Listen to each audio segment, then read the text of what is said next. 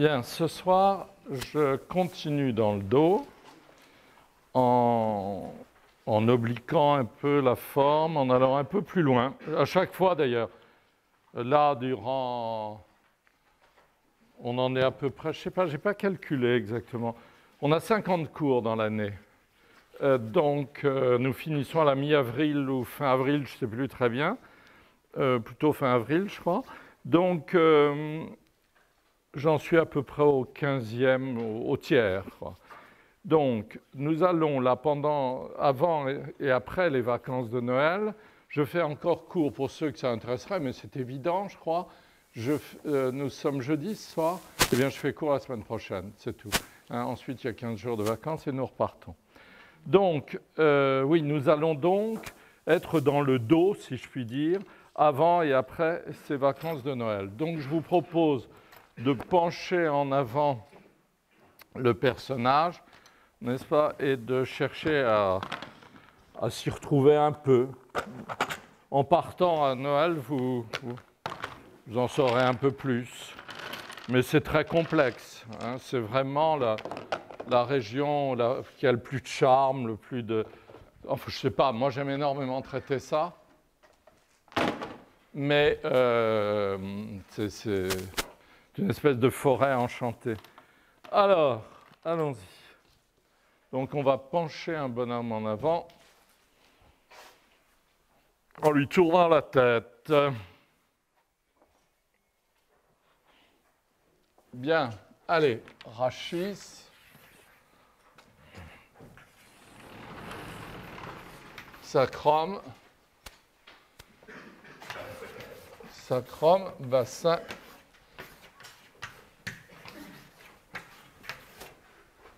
Voilà, fémur. Euh, pardon, fémur. Fémur. Voilà. Alors ensuite, la cage. Première côte. Alors, la première côte. La voilà, vous voyez J'avais comparé ça l'autre jour à des couteaux Pinel, n'est-ce pas? Je ne sais pas si vous voyez, euh, ou à des serpettes n'est-ce pas? C'est-à-dire que vous vous taisez, je vous prie. Donc, une serpette pour, euh, pour, ébrancher au printemps, n'est-ce pas? Ça, une petite serpette à main, ça a à peu près cette forme-là. Il y en a même euh, qui sont très jolies, avec un manche en bois qui fait ça, ça comme ceci, et la lame rentre, glisse dans le manche en bois. Donc, euh, ce personnage est un peu étrange, mais il euh, y, a beaucoup de gens qui ont des anomalies costales, etc. Lui, vous voyez, il avait donc ce, ce, cette très belle première côte très large, et puis étrangement, l'autre était euh, raccordé, articulé en articulation plane, n'est-ce pas, avec la seconde. Voilà. Il avait un bout d'os qui ressortait là. Euh, je ne sais pas du tout à quoi c'est dû. Ça n'a pas l'air d'être un accident, mais on ne sait jamais. Mais il n'y a tout de même aucune trace d'accident. Donc c'était plutôt natif, je crois. Et vous voyez, il avait un, côté étrange de ce côté-ci. Vous voyez, la première côte, vous la voyez là, ça ne ressemble en rien aux autres, hein, en rien. C'est vraiment la base du cou. Hein, elle, est, elle, est, parfois extrêmement large, comme vous le voyez là, d'accord? Alors, euh, pour ceux d'entre vous qui, comme Jean-Marc, s'intéressent à la direction des côtes, eh bien, vous voyez, le, le sternum reçoit sept cartilages, n'est-ce pas? Un horizontal, au niveau de l'angle, qui est ici, qu'on ne voit pas tellement chez ce personnage, mais je peux forcer un peu les choses. Voilà. Hein? Moi, j'avais une tante qui avait la manie d'avoir des décolletés. Euh, elle est toujours vivante, d'ailleurs. Et elle a, euh, enfin maintenant, elle n'a plus de décolleté.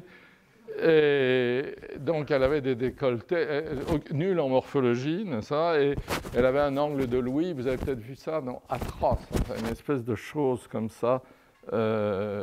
Je, vous en montrerai un, qui, est, extrêmement développé, à tel point que ça a repoussé les seins euh, de la jeune femme qui, l'avait. Mais elle, a une certaine allure, elle a une nuque très très belle, etc. Donc j'ai des diapos d'elle. Mais c'est une chose étrange, vous voyez, alors ça c'est la poignée du sternum, ça c'est la lame, et ça c'est l'appendice xiphoïde, dont Salvador Dali, je n'apprécie en rien, mais il, avait ça de drôle, c'est qu'il parlait de lui à la troisième personne. Un jour, je l'ai eu au téléphone pour, pour quelqu'un d'autre, j'ai décroché le téléphone j'ai entendu Allô, c'est Dali, il est à Paris. Euh, voilà. Et, le même soir, euh, on lui offrait un pun 50 mètres, je ne sais pas quoi, dans un, dans un théâtre. Et, alors là, il avait fait une conférence sur le corps féminin et il avait prétendu que euh, de la femme est comme un cadran téléphonique. Quand je les vois, ça me donne envie de composer un numéro. Et il avait ajouté que parfois il y en a un au milieu, mais celui-là, c'est de l'os. Ce qui est assez, assez bizarre parce qu'il avait tout de même vu. Hein, il avait dû avoir une aventure avec une personne qui avait l'appendice xiphoïde sorti comme ça. Ça arrive quelquefois, ça se perd. Il vaut mieux le faire opérer que d'avoir un, promontoire qui sort comme ça, ça sort sous les chemises, vous voyez. Euh, et alors, il y a l'inverse, que vous avez peut-être vu, parce que ça, ça se voit très très souvent. C'est parfois un peu triste. Hein. Le, coup de poing dans le bas du, sternum, ça porte un nom extrêmement pédant je le sais, alors je m'en vante, l'infundibulum, n'est-ce pas? Et c'est un thorax infundibuliforme. Alors, pendant que j'y suis, moi je ne m'occupe pas de pathologie, évidemment. Et alors, Dieu sait si le diable, lui, s'en est occupé, n'est-ce pas? Alors, on parle beaucoup de myopathie. Alors, cette maladie effroyable, n'est-ce pas, qui est une espèce de mort à pas lent, comme ça. Mais les gens vivent de plus en plus vieux maintenant. Euh, qui, les, jeunes gens qui en sont atteints parviennent à l'âge adulte, ce qui n'était pas le cas dans ma jeunesse. Et alors, l'une des caractéristiques, par exemple, de la myopathie, c'est un recul de la partie haute de la cage thoracique, vous voyez, comme chez les, gens d'Afrique qui, qui, ne sont pas nourris, les petits-enfants, n'est-ce pas, par exemple. Comme ils, n'ont pas assez de nourriture, ils n'ont pas assez de vitamines, ils n'ont rien. Eh ben, donc la cage euh, vit euh, le plus modestement possible, vous voyez. Donc à ce moment-là, quand la cage se resserre sur elle-même, le bas s'éverse. C'est pour ça que vous voyez si souvent ces photos. Euh, elles sont d'autant plus atroces qu'il ne faut pas croire que cette personne vivra, n'est-ce pas, que cet enfant vivra. Ce n'est pas possible, c'est une condamnation. Quand la cage est complètement rentrée comme ça et éversée avec un ventre globuleux, euh, vous pouvez leur... Enfin, je ne sais pas, il y a peut-être un médecin dans la salle, mais je, crois que c'est gravissime et c'est une condamnation. C'est vraiment effroyable de penser qu'il y a des millions d'enfants à l'instant il paraît qu'il y a quelques personnes qui aiment beaucoup avoir beaucoup d'argent, ce qui ne leur sert qu'à faire des, des regardez. Euh, qu'il y en a, des, il y a millions d'enfants qui crèvent et dont la cage s'éverse comme ça au-dessus d'un ventre globuleux. Alors voilà, ça c'est la pathologie la plus courante. Alors ne soyez pas surpris dans vos rencontres lors de votre existence, encore que ce soit assez rare, vous verrez des choses très étranges au niveau de la cage. Des coups de poing, ce qu'on appelle des coups de poing, c'est-à-dire tout d'un coup une cage qui se met à se creuser comme ça. Ou que j'ai vu de plus, effarant, et l'expression est effarante elle aussi, des empreintes de cuillère dans la pâte. On ne sait pas du tout pourquoi, de temps en temps, vous voyez, ça aurait pu très bien arriver là, par exemple. Comme là, il y avait un renforcement, et bien là, il aurait pu y avoir une empreinte de cuillère dans la pâte, c'est-à-dire, mais vraiment, ça fait ça. Hein. On voit la cage et tout d'un coup, un manque comme ça. Et alors, donc, cette empreinte de cuillère dans la pâte, c'est tout simplement une côte qui a lâché euh, à un certain moment de la croissance. Donc, en résumé, la cage n'est-ce pas C'est une chose très très personnelle, très fragile, qui dépend totalement du caractère et de l'existence de l'individu. Eh ben, on a la cage, mais on a tout son caractère. Mais tout de même, je dois dire qu'entre le fémur et la cage thoracique, il y a tout de même beaucoup plus de facteurs psychologiques qui rentrent en compte dans la forme de la cage thoracique. Il n'y a pas de problème. C'est vraiment quand vous prenez quelqu'un dans vos bras avec une certaine habitude, enfin en ce qui me concerne moi, je, ne dirai jamais ce que je sens car je ne sais pas ce que je sens, mais je sens quelque chose. Vous voyez ce que je veux dire? De, toucher une cage, de, comme ça, c'est effrayant ce qu'on peut rentrer dans l'intimité des gens. Et c'est pour ça que je vous dis, il y a énormément de pathologies de la fragilité existentielle je me fais comprendre là, hein, qui se traduisent dans la cage thoracique d'un individu. Donc quand on la dessine, si vous voulez, ça, n'est pas anodin, n'est-ce pas? Et alors c'est surtout pas cette horreur-là. Hein. Ça, ça c'est une vulgarité euh, qu'on rencontre absolument partout, cette espèce de truc là.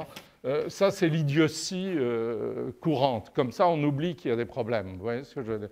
On, on expulse ça. Ça, le ballon de rugby, c'est aussi bête que. Pas que le rugby, j'ai pas dit ça, que le ballon, n'est-ce pas? Alors, donc on va mettre une cage thoracique. Oui, alors la cage thoracique a une première côte, n'est-ce pas? Qu'on pourrait presque, euh, comment dirais-je, analyser, c'est un bien grand mot, regarder tout simplement, comme euh, le départ de la cage, mais aussi le départ du cou, si vous voulez. Le lien, mais ce n'est pas seulement le lien, c'est vraiment, euh, vraiment là. Alors, d'accord, vous avez vos clavicules qui vous empêchent de la sentir, mais au bout d'un certain... Et puis, il suffit de se regarder dans un miroir, n'est-ce pas, pour, pour, l'appréhender facilement. Elle est là, à la base du cou, à tel point, je vous l'ai peut-être dit, j'aime bien cette anecdote, vous savez sans doute qu'entre 1791 et 1795, pour prendre une marge large et plus étroite autour de 93. On a énormément coupé de coups euh, en France grâce à la guillotine, n'est-ce pas, et que c'était un, moyen très commode de les débiter. Alors, euh, les gens qui ont survécu et qui ont failli y passer, euh, qui avaient une espèce de, de, mode, ça a été une mode, vous vous souvenez peut-être dans vos livres d'histoire, on les appelait des incoyables, n'est-ce pas? Je ne sais pas très bien pourquoi, ils ne prononçaient pas les R, n'est-ce pas Et ils étaient des espèces de fatalistes étranges. Et alors, ils, portaient des jabots blancs et ils se marquaient des pointillés à la base du cou, comme ça, rouge, hein, pour bien montrer. Non, vous avez compris, ça va? Oui, bon, d'accord. Non, mais on ne croirait pas. Bon, c'est le froid. Moi, je trouve ça bien, je trouve ça bien, sympathique de trimballer la mort en bandoulière, comme ça, ça au moins ça, ça, a un chic. Alors, à mon avis. Donc, voilà, euh, ma première côte, elle est affreuse, ça fait rien, c'est parce que vous n'avez pas euh, frémi à mon histoire, donc je suis vexé. Alors, euh, peut-être que ma cage est trop... Donc, allez, allons-y. Voilà, voilà. Ça, c'est l'avant de la cage thoracique avec l'appendice xiphoïde. Donc, je vais mon rachis est là. Donc, je vais placer mon rachis ici, et puis je vais aller voir un peu ce que ça donne. Ce que ça donne. Ça fait peut-être un peu ballon de rugby, sais.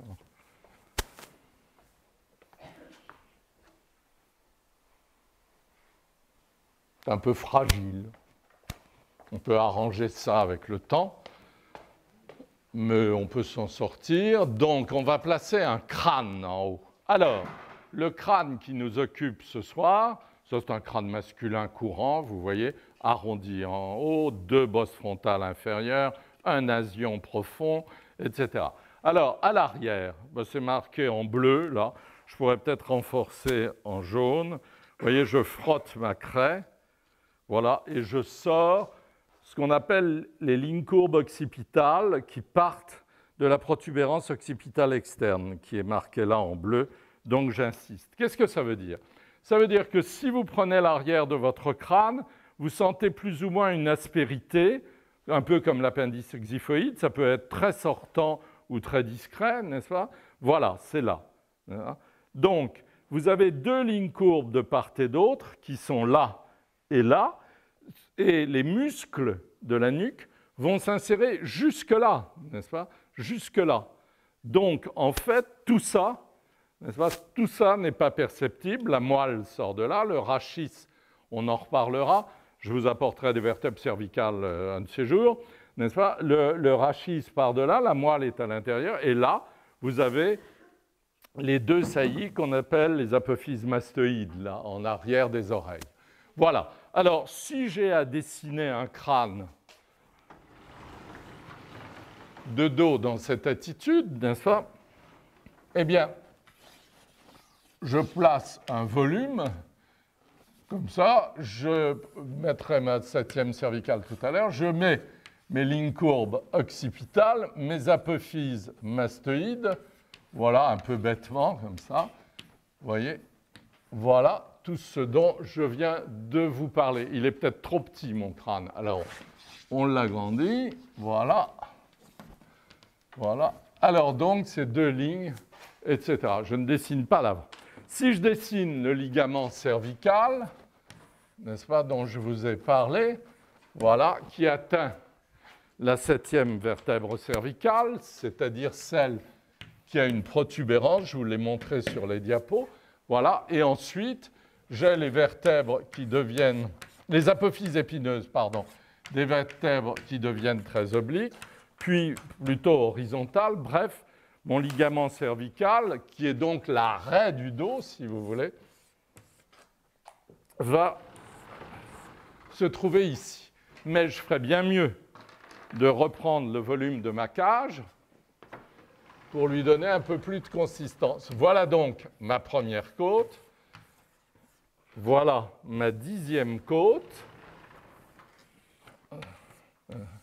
Et l'angle du thorax. Qu'est-ce que l'angle du thorax? Eh bien, justement, euh, vous verrez si vous avez des, enfants, quand ils ont une période d'amaigrissement, justement, eh bien, vous voyez le cartilage de la dixième côte, n'est-ce pas, est versé un peu en avant. Il ne faut pas vous inquiéter, mais c'est quand même un signe, n'est-ce pas? C'est-à-dire que euh, la, cage n'est pas aussi ouverte qu'elle le devrait dans quelques mois, euh, parce qu'en en fait, la croissance se fait, on appelle ça les courbes de Godin. C'est très intéressant, ça. La croissance ne se fait pas comme ça, n'est-ce pas? Elle se fait comme ça, comme ça, comme ça, comme ça, comme ça, comme ça. Et là, je schématise largement. C'est-à-dire poussée de croissance en longueur, stabilité de la poussée de croissance en longueur, croissance en largeur, n'est-ce pas? Si vous voulez, pour parler scientifiquement, croissance staturale, n'est-ce pas? Croissance en épaisseur de la matière osseuse, croissance staturale, etc. À chaque fois, les deux ne sont pas directement liés, n'est-ce pas? Il y a des poussées de croissance en longueur, puis ensuite ça s'établit, ça s'élargit, etc. La preuve en est, c'est que le dernier élément de la croissance, le dernier élément osseux à s'achever, c'est la clavicule. Pas? La clavicule s'achève à 25 ans et la largeur des épaules, si vous voulez, donc, se dessine tout de même à un âge assez, avancé, n'est-ce pas, une certaine maturité, qui au XVIe siècle, par exemple, n'était éloignée de la mortalité moyenne que de 8 ans, vous voyez? Et je crois que c'est le cas encore dans certains pays. Euh, en, Inde, je crois que la mortalité est à 35 ans dans certaines régions, par exemple. Voilà, mortalité moyenne. Donc ici, vous avez, vous avez la dixième côte, n'est-ce pas? Ordinairement, ça doit être celle-là. Vous savez, ces squelettes ont tellement vécu dans les travaux pratiques. 1, 2, 3, 4, 5, 6, 7, 8, 9, 10. Oui, c'est ça. Il manque un bout de cartilage. Ça, je veux dire, c'est pas. Ça, s'abîme extrêmement vite. Et pourtant, c'était de bons squelettes. Donc, c'est-à-dire des squelettes anciens. Alors, pour en revenir à ce que je disais tout à l'heure, j'ai oublié de terminer. Vous voyez dans le sternum, là, il y a la poignée du sternum et là, la lame, n'est-ce pas? Séparée par un, par une articulation qu'on appelle l'angle de Louis. Et alors, ce que j'ai mis en bleu, cet angle de Louis, n'est-ce pas, qui est donc un angle dans la vue de profil, peut très bien venir en avant très manifestement. Et à ce moment-là, la, lame, ça c'est la poignée, ça c'est la lame, si vous voulez. On dit aussi manubrium et corps, mais peu importe, c'est plus complexe. Donc la lame peut rentrer à l'intérieur. Donc ça aussi, ça peut modifier la cage thoracique, n'est-ce pas? L'orientation des trois segments du sternum, la poignée, la lame et l'appendice exiphoïde. Sur l'angle de Louis, parvient le seul cartilage qui soit horizontal, celui de la deuxième. N'est-ce pas? Tout en haut, descendant, vous avez le cartilage de la première, et puis après ce deuxième cartilage, ça descend peu à peu jusqu'au septième. Il y a donc sept cartilages, ordinairement, 1, 2, 3, 4, 5, 6, 7, c'est ça, n'est-ce pas? Il y a sept cartilages, et la dixième raccorde sur ce septième cartilage avec la huitième et la neuvième, etc. Donc c'est assez complexe. Euh, j'en ai déjà un peu parlé l'autre jour, mais ça n'a pas un grand intérêt. Ce qui est intéressant plastiquement, c'est le volume d'ensemble et le caractère d'ensemble que vous donnez à la cage thoracique, n'est-ce pas? Donc, ma dixième côte est là, j'ai bien insisté, je crois, et vous, vous ajoutez deux flottantes, dont nous avons vu l'autre jour qu'elles pouvaient être très très courtes, n'est-ce pas, euh, chez certains individus, je vous l'ai montré en diapositive. Voilà l'essentiel pour la cage, que j'avais d'ailleurs peut-être déjà dit mardi en grande partie. Je ne pense pas beaucoup me renouveler. Vraiment, le crâne est tout petit. Et tant qu'il n'y a pas les omoplates, c'est vrai que c'est très ingrat. Et vous voyez, je trouve que mes lignes courbes occipitales sont trop hautes aussi, ce qui concourt à donner de la petitesse au crâne. Voilà. Voilà. Voilà. Et voilà. Bien. Alors, le bassin, ça vous connaissez le rachis lombaire, n'est-ce pas Le sacrum, le coccyx.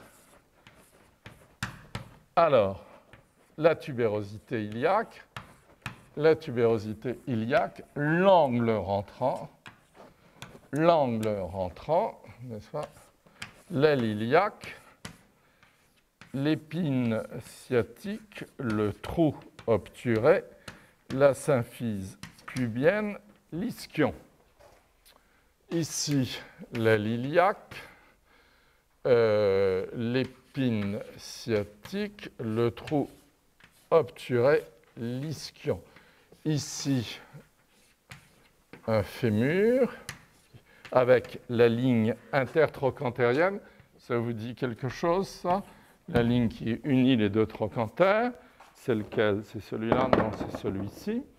Voilà, vous voyez, j'ai mis la tête à l'intérieur. Ça, je l'ai tellement fait que c'est plus la peine. Le col, vous l'avez là. Le grand trochantère ici, le petit trochantère là, et la ligne intertrochantérienne. Ça va? Ensuite, je file par ici, n'est-ce pas, comme ceci, avec la ligne âpre, si vous voulez, un petit peu de contour si vous en voulez peu importe. Et de l'autre côté, je place, je vais placer l'autre fémur comme ceci, n'est-ce pas? Donc la tête, maintenant vous le savez, hein, la tête est à l'intérieur, on la pense à l'intérieur, on place le grand trochanter, c'est très simple, et on file. Si vous tenez à avoir un bout du petit, c'est assez... Non, je crois que vraiment, c'est malséant. Voilà, il serait là. Et voilà. Donc, voilà. Alors, l'anneau pelvien, vous voulez peut-être, au fusain. Voilà. La symphyse pubienne, le coccyx, le sacrum et l'anneau pelvien. Voilà. J'ai peut-être eu tort là. Je retire ça peut-être eu tort de mettre un trait transversal.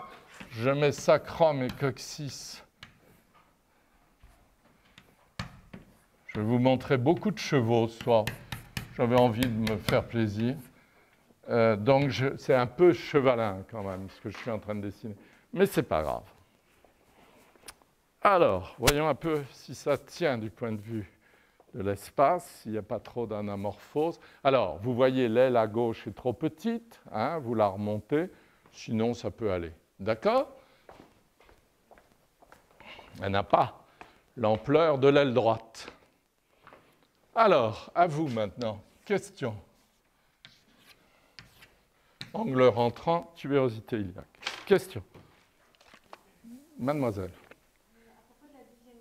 Mmh.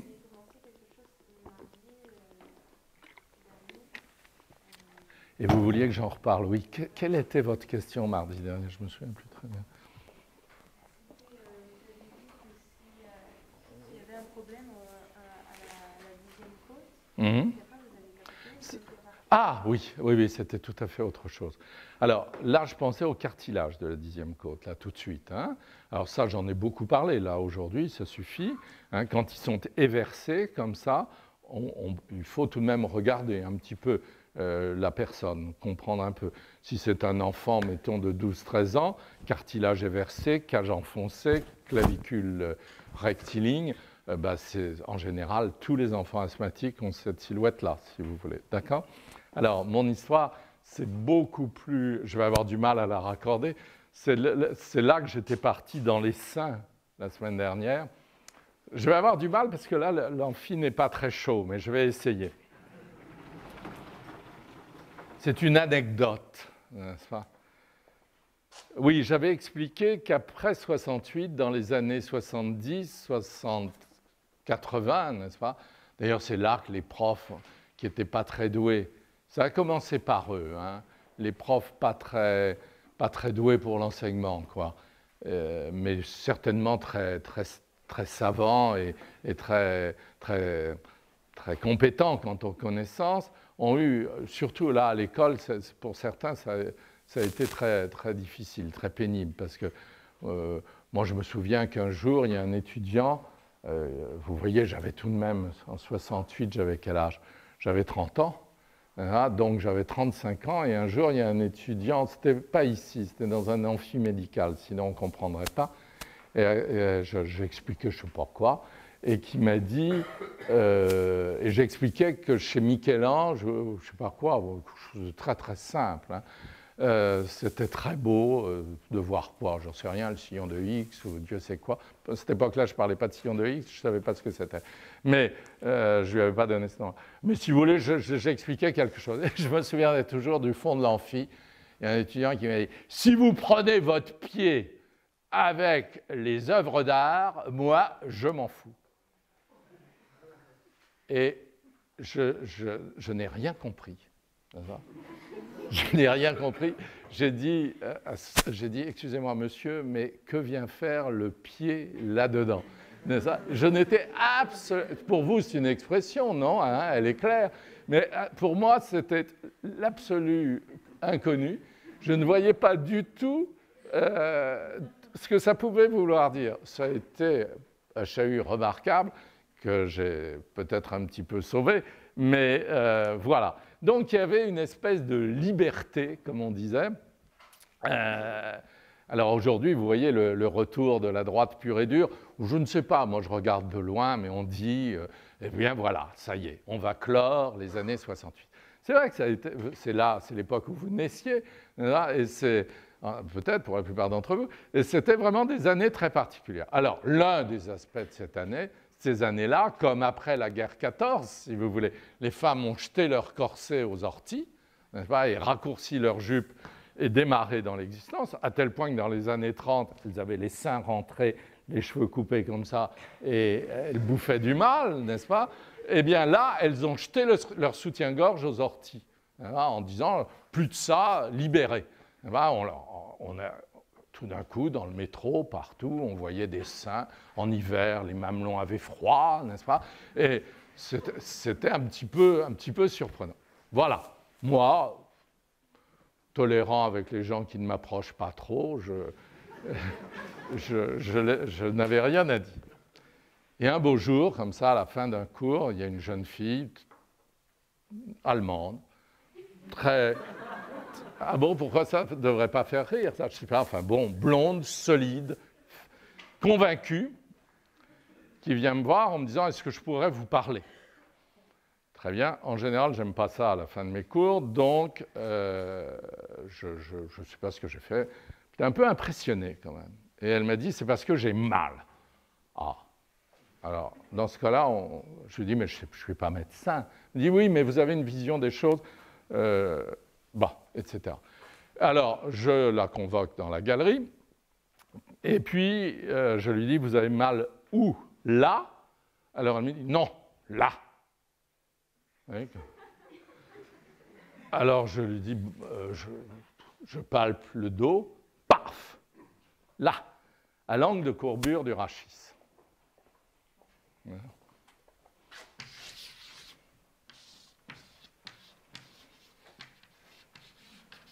Non, non, non, non, pas ça.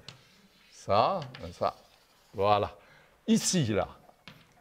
Changement de courbure.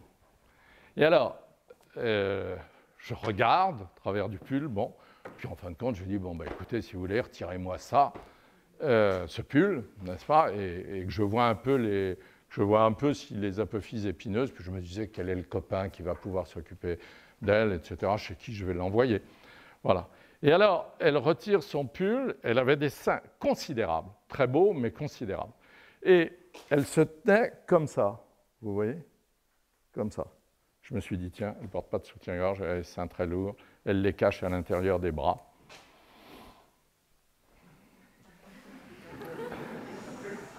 Et puis j'ai téléphoné à un copain en lui disant, bon, bah, fais faire des radios, regarde, il me semble qu'il y a une psychose un peu là-dessous, etc. Elle ne porte pas de soutien-gorge. À mon avis, elle devrait, etc. Bon, je laisse. Mademoiselle. Très bien. Quinze jours plus tard, une Scandinave, blonde, autoritaire, vient et me dit J'ai mal dans le dos. Je vous jure que c'est vrai. Quinze jours plus tard. Et là, je ne sais pas pourquoi, vous savez, le génie, ça existe, j'en ai un peu.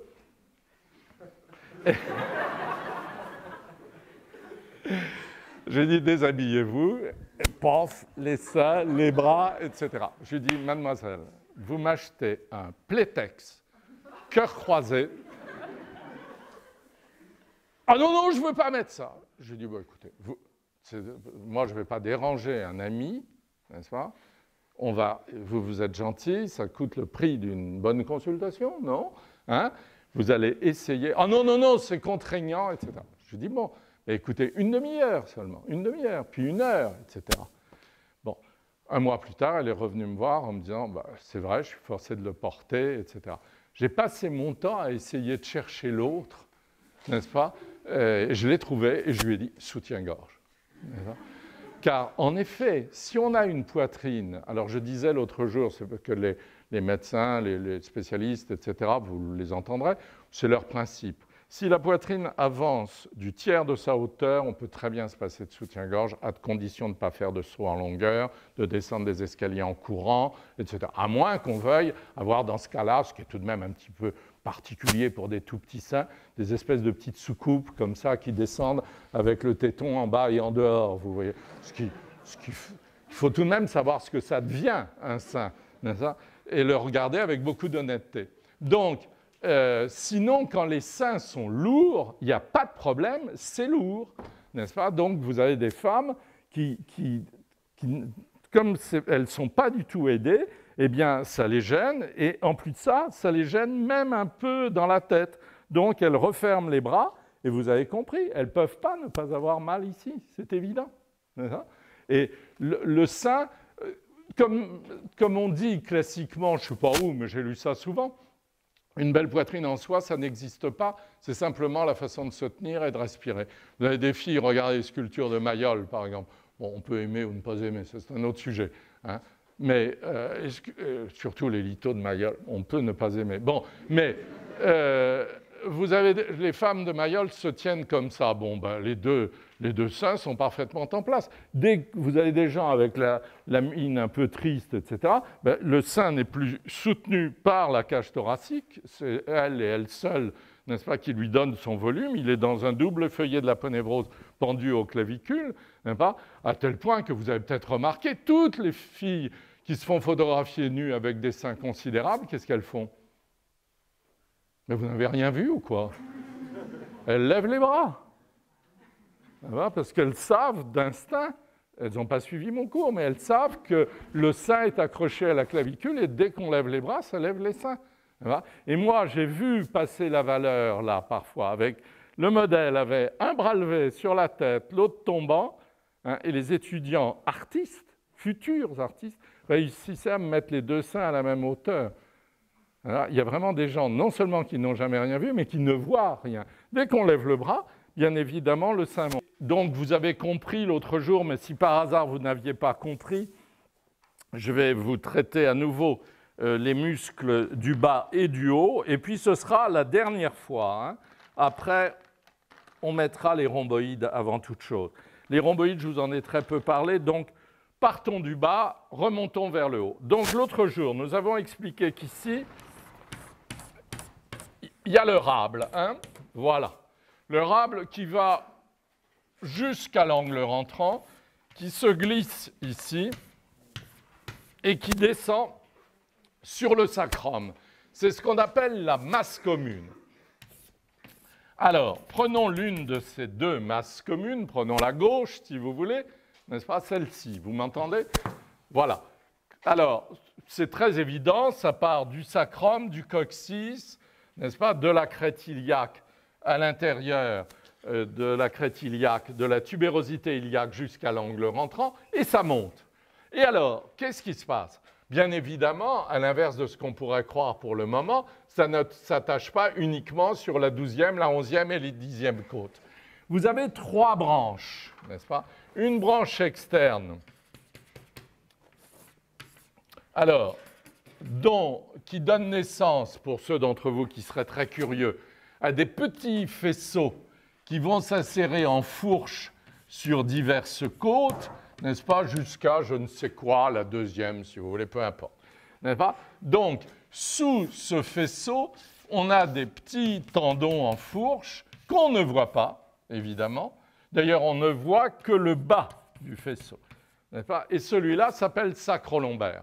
Donc, de ce tronc, si vous voulez, naissent trois branches qui ne sont pas des branches de marronnier, n'est-ce pas? Euh, euh, Comme ceci et comme cela. Non, non, ce sont des branches assez torses.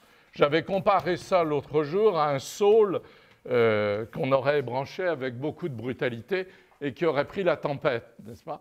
Donc voilà l'élément sacro-lombaire, si vous voulez. Voilà. Et je vous avais dit aussi que dans la...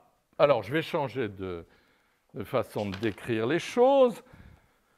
Cette masse commune, pour qu'elle ne recule pas en arrière, expression un peu idiote, pour qu'elle soit bien maintenue contre la profondeur, si vous voulez, la charpente osseuse qui se trouve en profondeur, elle est recouverte par une aponévrose, qu'on voit très bien d'ailleurs. Je vous montrerai ça dans une dissection de lapin. Quand on regarde le rable d'un lapin euh, euh, dissection, n'est-ce pas On voit très bien l'aponévrose bleue très dense qui se trouve au-dessus du rable. Si vous voulez, je vais descendre la masse commune pour que vous saisissiez mieux jusque sur le sacrum et le coccyx. D'accord? Bien. Donc là, il y a une aponévrose. Bien. La branche médiane, la branche médiane se trouve revêtue un certain temps par la dite aponévrose. Voilà. Par contre, le long du rachis, est-ce que je me fais comprendre Le long des apophyses épineuses, j'exagère là, euh, voilà. Voilà. Le long des apophyses épineuses, l'aponévrose dessine une pointe qui descend à peu près jusqu'à la deuxième lombaire, c'est-à-dire euh, euh, ici, juste à l'intersection de mes deux tableaux, n'est-ce pas?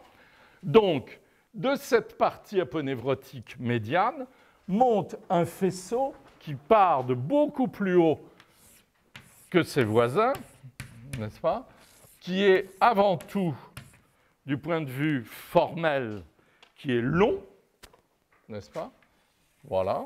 Qui est sur le dos, qui est celui qui vraiment prend le, dessin au point de changement de courbure, n'est-ce pas Quand la courbure est très très forte, mes jeunes femmes dont je parlais qui avaient des douleurs dorsales avec courbure très accentuée, je ne suis pas médecin, mais tout le monde sait que ça s'appelle une syphose dorsale, n'est-ce pas?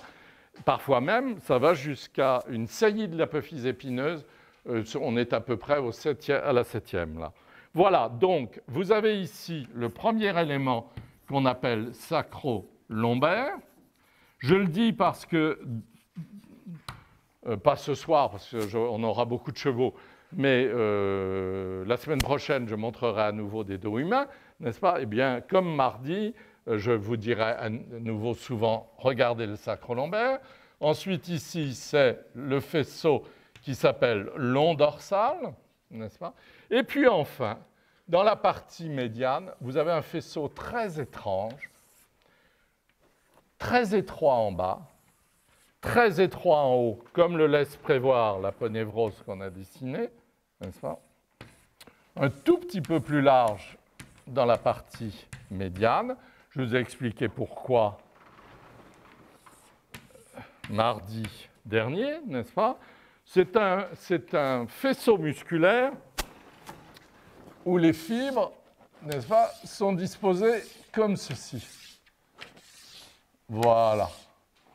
Là aussi, si vous voulez, je change mon mode d'explication. Je fais ce schéma en disant qu'ici, c'est la deuxième dorsale. Là, la deuxième lombaire, n'est-ce pas? L1. Euh, j'en ai peut-être trop. 1, 2, 3, 4, 5, 6, ou j'en ai peut-être trop. Bon, et au niveau de D8, il n'y a pas d'attache. D'accord? Donc en fait, il n'y a qu'une attache musculaire en bas, qu'une attache musculaire en haut, 2, 3, 4, 5, 6 dans la partie médiane, rien au niveau du septième espace. 1, 6, 5, 4, 3, 2, 1. Donc le muscle, le faisceau musculaire de ce fait, n'est-ce pas, qui relie les apophyses épineuses entre elles, c'est tout de même assez fantastique, n'est-ce pas? Ce schéma, ça veut dire tout simplement qu'il y a un lien mécanique, musculaire, un lien moteur, si vous voulez, entre les apophyses épineuses entre elles, pas? Le sacro-lombaire, c'est un lien avec toutes les côtes en les prenant hélicoïdalement en dehors. Le long dorsal, c'est un lien tout bête dans le sens de la longueur, c'est-à-dire euh, le redressement pur et simple, si vous voulez, entre le bas et le haut quand on a baissé le dos, etc. Tout le monde sait très bien, nous savons tous très bien que les exercices avec les spinaux, c'est tout simplement de s'abaisser, de se relever de façon à descendre le plus bas. par contre, à l'avant, pour essayer d'avoir une paroi antérieure solide, vous savez bien que là, à ce moment-là, on fait l'inverse, on se couche par terre, on place les pieds en hauteur, on essaie de les descendre le plus lentement possible et de les remonter le plus lentement possible. Il y a eu à ce sujet d'ailleurs une, une femme qui a révolutionné, on, peut révolutionner la conception physiologique avec des idées toutes simples. C'était une simple kinésithérapeute qui s'appelait Mademoiselle Mézières. Elle a découvert une chose toute bête par l'usage, c'est que les gens qui ont mal dans le dos, n'est-ce pas, il faut surtout leur densifier les muscles antérieurs. Vous voyez, quand vous avez mal dans le dos, vous vous dites on va me masser le dos, ça va me faire du bien. Mais le plus souvent, c'est que vos muscles de la paroi antérieure sont trop faibles. Donc, la première des précautions, c'est toujours la même chose, marcher le plus possible, etc., etc. Et si vous aimez ça, faire des abdominaux. D'accord? Mais on ne peut pas lire en même temps, c'est ça le problème. Alors, donc, euh, voilà, voilà l'un des ensembles spinaux, si vous voulez. On va, on va les monter tous les deux. Ça suffit. Hein? Voilà. Donc, on va placer C7D1, D2. Donc, on va placer un épi épineux ici. Vous voyez? On s'amuse. Alors maintenant, ça en est fini avec la théorie. on s'amuse à dessiner quelque chose qui soit en pointe dans le haut, et surtout, alors ça par contre, ça se voit sur le vivant, une pointe dans le bas, c'est extraordinaire comme ces parties basses des trois branches se voient, n'est-ce pas? Et là, c'est pas trop mal dessiné, donc je laisse, n'est-ce pas? Voilà les deux petites pointes que vous apercevrez très souvent, maintenant que vous les connaissez, sur le vivant. Dans la partie haute, bien évidemment, on ne les voit pas, tout ça est recouvert. Donc, les deux épis épineux, ils s'achèvent plus bas, hein, ils s'achèvent, voilà, à la deuxième lombaire, voilà, donc il faut tout de même que je les reprenne, voilà. Vous voyez, je suis sûr qu'en les voyant, vous les, attention parce que mon ligament est, en dehors, en les voyant, vous, vous dites, ah oui, j'ai déjà vu ça, enfin j'espère. Voilà, donc on les glisse comme ça. Voilà, épi épineux. Ensuite, on va placer le long dorsal en plaçant l'aponévrose qui recouvre la masse commune. Ça aussi, ça, vous avez dû le voir quand même. N'est-ce pas, cette espèce de remontée comme ça aponévrotique? En plus de ça, ça a espèce de charme baroque n'est-ce pas, comme forme. Ce n'est pas, pas, pas sans intérêt plastiquement. D'accord? Donc là, on va placer tout bêtement le long dorsal. Alors lui, du point de vue du faisceau charnu, il est beaucoup moins euh, caractéristique, si vous voulez. Ce qui est caractéristique, c'est le dessin du tendon. C'est un peu, toute proportion gardée, je ne sais pas si vous vous souvenez, à la cuisse, où je peux faire ça Là, en bas Je vais retirer cet horrible truc là. Quand, vous dessinez, quand nous dessinions une cuisse, n'est-ce pas Couturier, vaste externe, vaste interne, schématiquement, et nous avions le, droit antérieur, le rectus femoris. En général, on ne le voit pas. Euh, forcément bien par rapport au vaste externe et au vaste interne, qui ont vraiment un dessin très marqué. Mais lui, ce qu'on voit, c'est qu'on voit, si vous voulez, qu'on ne le voit pas, n'est-ce pas? Parce qu'on voit son tendon qui se glisse en méplat. Je n'ai pas de diapo pour vous le remontrer ce soir, mais c'est évident, n'est-ce pas? On voit son tendon qui se glisse en méplat. Ensuite, ça passe sur la rotule, n'est-ce pas? Et ça, le tendon prend la rotule et redescend vers la tubérosité antérieure. Donc, j'espère que vous me comprenez. Ce que je veux dire, c'est qu'il y a des formes qui se voient en positif, tout simplement, et d'autres en négatif. Le droit antérieur ici, ça n'ajoute absolument rien. Le droit antérieur se voit en négatif par son tendon. Eh bien, c'est drôle parce qu'il s'appelle lui aussi, n'est-ce pas, non pas le droit, mais le grand, le grand dorsal pas, se voit surtout par la plaque tendineuse qui lui donne naissance. C'est comme ça, moi, que je le repère. J'avais un vieil ami qui venait souvent là s'asseoir, un vieux monsieur russe, tout chauve, un vrai pickwick comme ça, qui m'a dédié un livre sur le, le mal de dos. Et qui expliquait que s'il y avait un déficit de la sécurité sociale, c'est tout simplement parce qu'on ne pouvait pas passer plusieurs heures à palper un dos. Et lui, il vivait très modestement, il était médecin de médecine physique, euh, très célèbre à l'hôpital Cochin, etc. Et on lui, il ne s'occupait que des douleurs gravissimes, c'est-à-dire les gens qui peuvent plus tenir debout, qui peuvent plus marcher sans souffrir, etc. C'était un homme d'une délicatesse incroyable, donc on avait fait tout ce qui coûte cher, n'est-ce pas, radio, scanner, etc. Il est mort après l'apparition des scanners. Il passait sa vie assis, hein, devant des gens debout, assis, couchés, de trois quarts, etc. Et il palpait fibre à fibre les muscles du dos.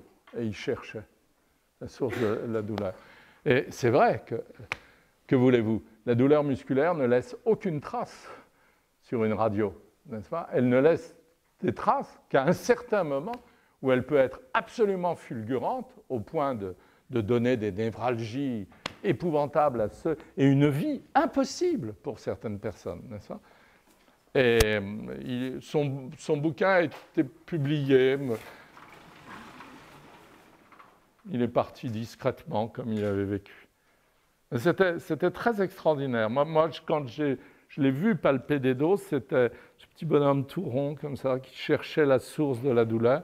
Puis en plus de ça, il fallait qu'il soit extrêmement courtois avec le patient parce que ça durait, ça durait, ça durait. Ah, mais les gens avaient besoin de lui.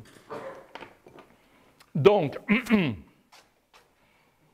ça il portait un nom génial, mais tout d'un coup, ça m'échappe. Il avait un nom extraordinaire. Donc, un nom d'exilé, un nom d'immigré. Alors, ici, on place le sacro-lombaire, n'est-ce pas? Là, ce soir, voilà.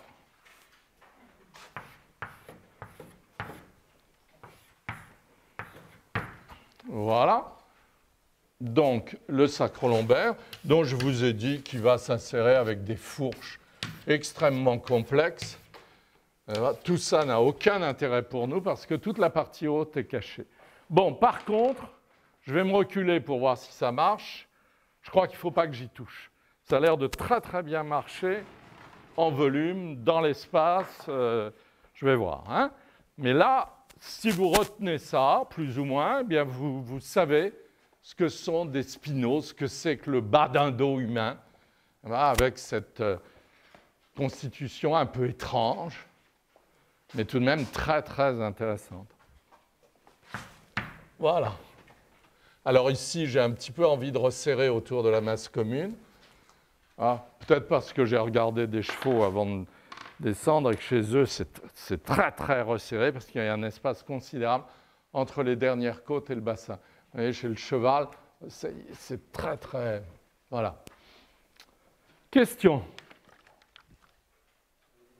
Jean-Marc, oh, bah, t'arrêtes, on a l'impression que vous, jetez. Allez-y. Non, allez-y. Oui, euh, vas-y, mon vieux. Euh, j'imagine qu'il serait exagéré de dire que euh, la ponévrose, en dépit des similitudes des deux dessins, celui de la jambe et celui du dos, la, la ponévrose. La jambe ou la cuisse? oui, au moment, La cuisse ou la jambe? Non, je voudrais qu'on soit précis. Tu parles de la cuisse, là. Oui. Oui. Très bien, d'accord, oui. Le droit antérieur. Oui. C'est un tendon. Un tendon. Mais oui, parce que, alors là, autant, il ne faut pas mélanger les choses entre les ligaments, n'est-ce pas, qui sont qui attache deux os, je le rappelle. Hein. Je vous ai montré des diapos, je ne veux peut-être pas en montrer, mais mettons, euh, qu'est-ce que je prends? Allez, une, une, omoplate, bientôt ce sera le cas. Vous avez peut-être vu en faisant du saut en hauteur au lycée, enfin moi c'était au lycée que ça m'est arrivé, il y a des gens qui font du, du rouleau californien, c'est ça? Et puis il y en a d'autres qui sautent en ciseaux, n'est-ce pas? Et parfois, vous avez des enfants, ou peut-être pas des adultes, peut-être pas des sportifs tout de même, mais des enfants qui tombent sur le sol en appuyant la main, il y a pourtant du sable, hein, mais appuyant la main tellement vigoureusement que la tête humérale sort de la cavité glénoïde, ce qui est absolument impossible au niveau du membre inférieur, parce qu'au niveau du membre inférieur, n'est-ce pas, la pénétration de la tête dans le bassin est considérable. Ici, pas du tout, n'est-ce pas Nous verrons bientôt que la tête humérale, n'est-ce pas, n'est maintenue que par une coiffe ligamentaire qui est, qui est solide, mais qui peut devenir fragile si on a des activités brutales. Exemple, le hockey sur glace les, déboîtements de coiffe euh, dans ce genre de sports brutaux font que la vie, euh, paraît-il, d'un vieil hockeyeur est, une souffrance perpétuelle dès qu'il prend un couteau ou un verre, parce qu'il s'est tellement brisé les ligaments qu'il y a des petits bouts d'os qui traînent entre les ligaments. n'est-ce pas? Ça, c'est une coiffe ligamentaire, ça unit deux os, n'est-ce pas? Et ça limite plus ou moins les mouvements et ça maintient les deux os en congruence, en l'articulation est congruente, c'est-à-dire que les deux os s'associent bien l'un avec l'autre et c'est maintenu par des ligaments. Bien évidemment, ça n'est pas élastique. Ce que nous savons seulement, c'est que chez certaines personnes, leurs ligaments sont un peu plus laxes que chez d'autres, et ce que nous savons depuis très peu de temps, ce qui moi me plaît beaucoup et m'intéresse beaucoup, c'est que on a découvert, mais ça doit être la même chose pour l'homme, mais tout de même de façon moins évidente, parce que la laxité ligamentaire, c'est tout de même un caractère sexuel secondaire, n'est-ce pas, du sexe féminin. Donc on a découvert, comme je vous l'ai dit, au cours de la grossesse, lors même du cycle, des variations de longueur des ligaments. Mais ça ne veut pas dire que la, femme se mette tout d'un coup à avoir des, ligaments élastiques. Surtout pas. Des ligaments un peu plus longs à certaines périodes qui permettent une course plus grande, par exemple du retournement des doigts ou du recurvatum de la jambe, etc. Bien, pour les tendons et les aponevroses, c'est le même matériau que pour les ligaments. Hein. Si j'ouvrais ma peau ici, que je retourne, j'aurais la peau doublée de gras, et vous verriez mon avant-bras tout gris-bleu, n'est-ce pas? Ce serait l'aponévrose. Et cette aponévrose, d'ailleurs, euh, je ne sais pas si vous mangez de la viande, mais il y a c'est très bizarre parce que les gens qui, mangent de la viande et qui, euh, n'est-ce pas, qui, sont connaisseurs, disent il y a du nerf. Non, très souvent, ce sont, euh, je ne sais pas, il y a des viandes où on voit des traces à l'intérieur de, bleu comme ça. Non, ce n'est pas du nerf. Le nerf, ça se reconnaît bien. Un nerf, c'est une espèce de ficelle comme ça, avec de la myéline autour. Ça n'a rien à voir. Ce qu'ils appellent, il y a du nerf, n'est-ce pas? Non, souvent c'est une vieille viande d'un vieil individu, n'est-ce pas? Dans lequel il y a eu, il y a des plaques aponévrotiques qui sont relativement denses.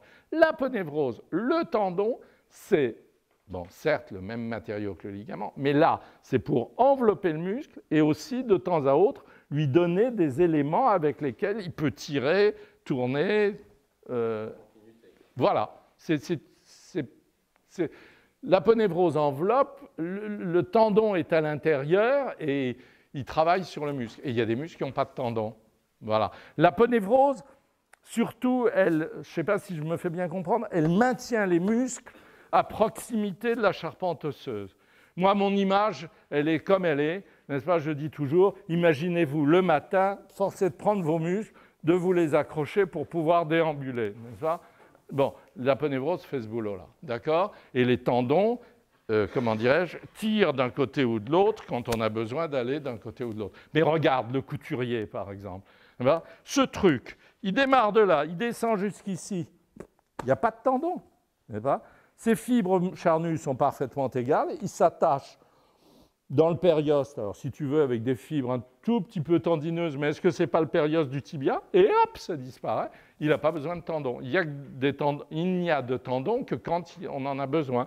Par exemple, pour le biceps, il y a un tendon direct, un tendon qui va sur le côté, parce que, quoi qu'on dise, le biceps ne s'insère pas bêtement au radius, il s'insère aussi au cubitus. Pendant que ça tire le radius, eh bien, le créateur se dit, il faut que je maintienne le cubitus. Un peu comme, oui, mon ami, il est là, euh, pour les deux péronniers, n'est-ce pas? Pendant que je tire d'un côté, je tire de l'autre. Là, il le fait avec le même muscle. Ça va? J'ai répondu? Tarek. Hein? Comme ça. Et puis un muscle dont je ne parle jamais, euh, qui s'appelle petit dentelé inférieur, qui m'embête énormément qui fait ça. Alors évidemment, vous, vous l'avez vu. Hein, il est ici. Mais alors lui, vraiment, il, m'empoisonne au possible. Alors parfois, on le voit. Bon, puis voilà. Mais il est à contreforme. il est à contreforme et je ne veux pas le dessiner. D'accord? Non, je vous le montrerai sur les diapos. Non, il y a vraiment un muscle là, il, il, y en a un autre en haut d'ailleurs, qui s'appelle petit dentelé euh, inférieur et supérieur, qui tire comme ça en surface, je ne sais pas quoi, et qui vont vers le rachis, là, et qui maintiennent en largeur. Alors, du point de vue mécanique, ça a certainement de l'intérêt, mais du point de vue plastique, moi, ça m'embête énormément, parce que déjà, je vais avoir à faire comprendre à mes, honorables auditeurs, n'est-ce pas, que ces muscles qui sont profonds, n'est-ce pas, sont visibles à certains moments en surface, hein, au travers du grand dorsal qui va venir au-dessus. Alors si j'ajoute le petit dentelé, là on s'en sort plus. Ah, là, vous me les montrerez sur le diapo. Je vous dirai ce que c'est à ce moment-là. hein. Ou alors vous vous déshabillez, et on regarde, mais vous ne verrez pas.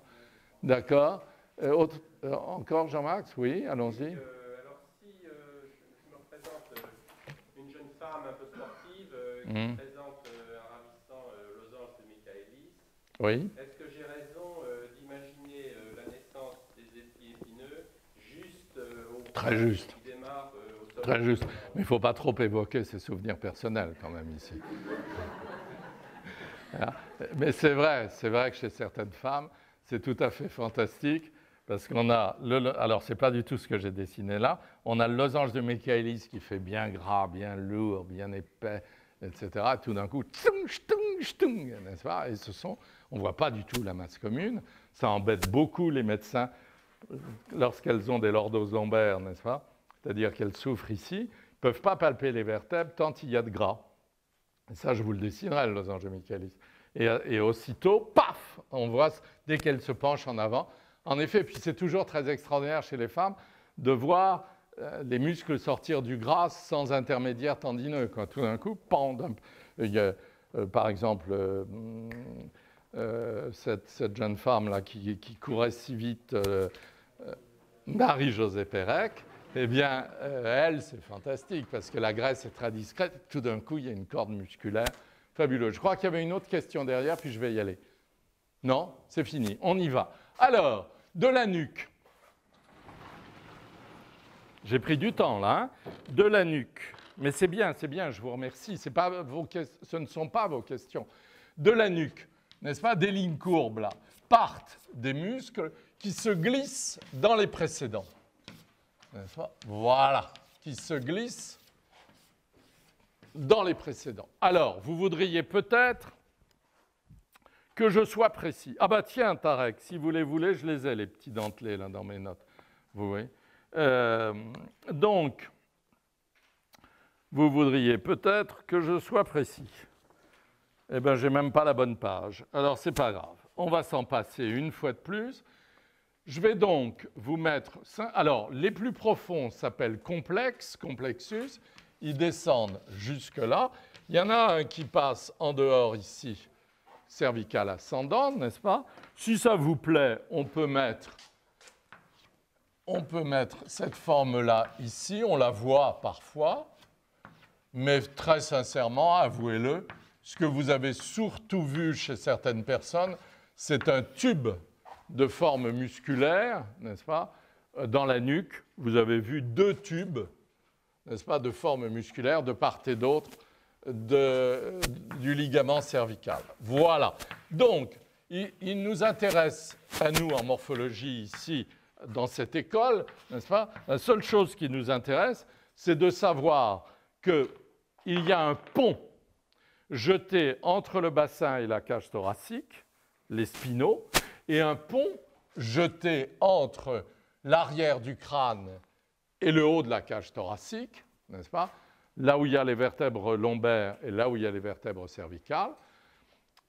Le pont du haut, c'est la nuque. Le pont du bas, ou les muscles de la nuque, si vous voulez, qui s'appelle splenius au singulier, splenii au pluriel, et complexi, et qui sont très très complexes, et qui ne se distinguent pas sur le vivant un à un, n'est-ce pas?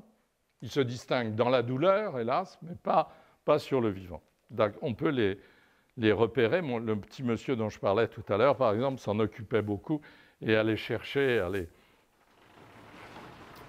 allait, allait situer très précisément pour situer la douleur. Voilà. Donc vous avez toute une chaîne musculaire. Est-ce que c'est clair? Pas tellement.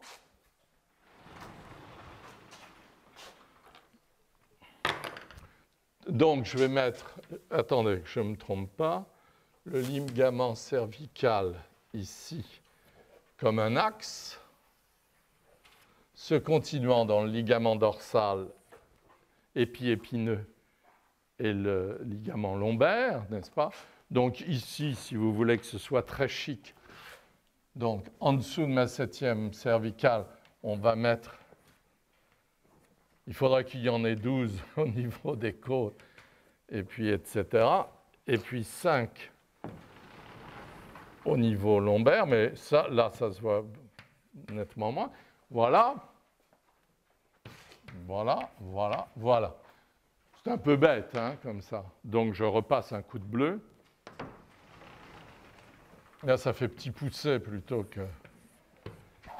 Voilà. Donc vous avez le rachis, même là c'est idiot. Voilà. Là c'est plus en... C'est plus en volume. Voilà. Voilà. Voilà. Alors, de part et d'autre, est-ce clair? Parce qu'après, moi, j'en parle, pour ainsi dire, plus euh, dans cette région-là. hein. Donc, c'est fini. Donc, épi épineux, n'est-ce pas C'est-à-dire ce faisceau-là, qui va d'une épine à une autre épine, de la façon complexe dont j'ai parlé ici, n'est-ce pas Épi épineux, long dorsal et sacrolombaire. Ça va? Est-ce que quelqu'un a besoin d'une explication? Non? Parfait. Allons-y. On va placer deux omoplates. Comment peut-on le mettre? Soyons simples, il est tard.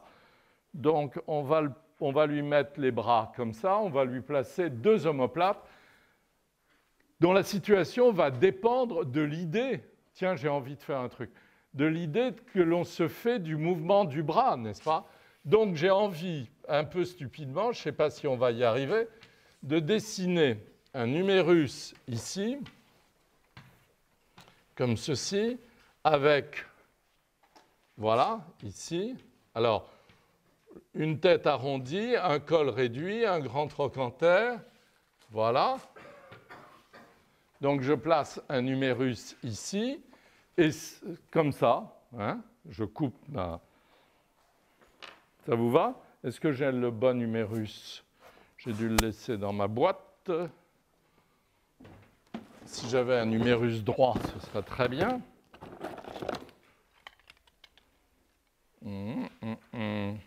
Voilà, c'est pas mal. Donc, euh, oui, mais je l'ai dessiné. Non, c'est un gauche. Voilà, voilà comment ça se présente de l'autre côté. Vous voyez? J'ai dessiné ça, j'ai dessiné ça, j'ai renforcé cette courbe-là parce que j'aime bien. La tête en bas, la grande tubérosité en haut. Donc, j'ai placé d'office le bras comme ceci. On y est? Bon, pour qu'il puisse s'accrocher là, n'est-ce pas? Il va falloir placer l'omoplate en fonction de ce bras. D'accord? Donc, on sort une omoplate. Où a-t-on une omoplate Ici, n'est-ce pas? Et on va basculer l'omoplate pour qu'elle puisse prendre, vous voyez, cet humérus. Voilà, un petit exercice comme ça. Voilà. Donc, euh, on va dessiner l'omoplate pour pouvoir accrocher, je vais aller voir si ça tient, accrocher l'humérus au bras. On n'accroche pas un bras comme dans un pantin en le posant à côté du torse à n'importe quelle hauteur, n'est-ce On l'accroche en plaçant, je croyais ma, mon omoplate trop grande, elle est quasiment trop petite.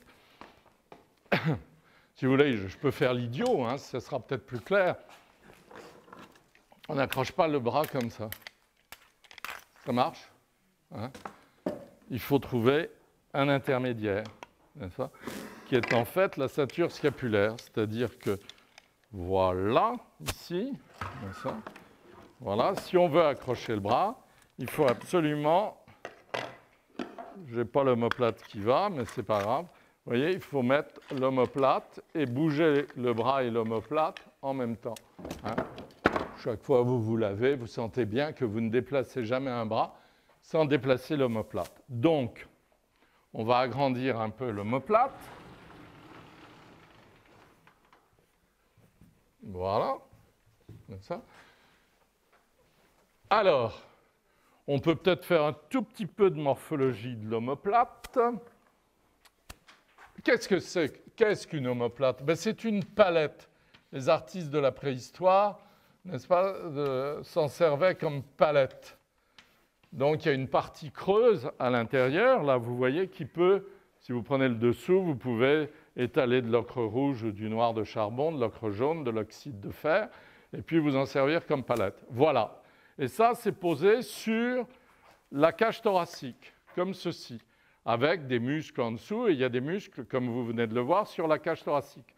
Donc c'est indépendant, n'est-ce pas, de la cage thoracique, relié à la cage par des muscles, donc cette indépendance est toute relative, elle dépend des contractions musculaires qui déplacent les omoplates, les avancent, les reculent, les lèvent et les baissent, d'accord? En fonction des mouvements qu'on veut donner au bras. Mais il n'y a pas d'articulation, hein, c'est évident. En arrière, l'omoplate est libre, si je puis dire. Alors voilà la palette, n'est-ce pas? Mais sur cette palette, vous remarquez qu'il y a une sorte de branche qui naît, qu'on appelle l'épine. Voilà, ici, qui dépend bien évidemment de la structure musculaire de l'individu, des poussées et des tractions exercées. Voilà, et cette épine présente des tubercules dont je parlerai plus tard, dont un ici qui est très important. Mais surtout, cette épine dans la partie la plus externe s'élargit de façon manifeste, vous voyez, là. Hein? Et c'est tout à fait considérable chez cette personne, ça l'est relativement chez celle-là aussi, vous voyez, par rapport à l'épine. Et alors cet élément n'est pas situé dans le plan du dos, n'est-ce pas? Il a tendance à s'incliner vers l'avant. Et si vous inclinez l'omoplate, tout bêtement, vous l'horizontalisez, vous pouvez l'utiliser comme support. Cet élément-là, donc, on l'appelle l'épine, et l'extrémité antérieure de l'épine, on l'appelle acromion. Cet acromion est raccordé à la première côte chez l'homme par la clavicule, n'est-ce pas? Chez le cheval, qui ne grimpe pas aux arbres, n'est-ce pas? Qui se nourrit avec ses vertèbres cervicales, qui n'a pas besoin d'apporter la nourriture à sa bouche, c'est la bouche qui va chercher l'herbe avec d'extraordinaires, vous allez le voir dans les diapos tout à l'heure, d'extraordinaire, elle est peut-être un peu courte, attendez, où est ma première côte? Elle est là, faudrait que je descende. Donc, ma clavicule, je suis dans cette position, ma clavicule redescend. Voilà. Donc, vous avez ici, je peux peut-être le marquer, acromion, ici, clavicule, n'est-ce pas? Et on redescend vers la première côte qu'on avait marquée tout à l'heure. D'accord? Alors, je m'inquiète, je vais prendre du recul. Il faudrait que mon omoplate, comme pour le bassin, n'est-ce pas, soit égal à la moitié de la longueur de l'humérus. Mon humérus est un peu petit. Donc je rallonge l'humérus, n'est-ce pas? Et puis plus tard, je vous expliquerai certaines choses concernant l'humérus. Ce serait trop pour ce soir. Voilà, donc voilà une ébauche de bras, si vous voulez. Ça se tord un peu trop, peut-être. Voilà. Et je vais placer, si ça va, je vais placer l'autre omoplate et deux muscles dont vous allez comprendre l'importance morphologique, car ils dissimulent toutes les difficultés. Voilà, ben oui, il a l'air d'aller chercher quelque chose. À droite.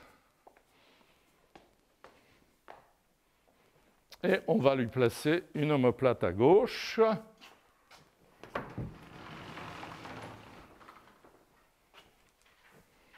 On, va la mettre.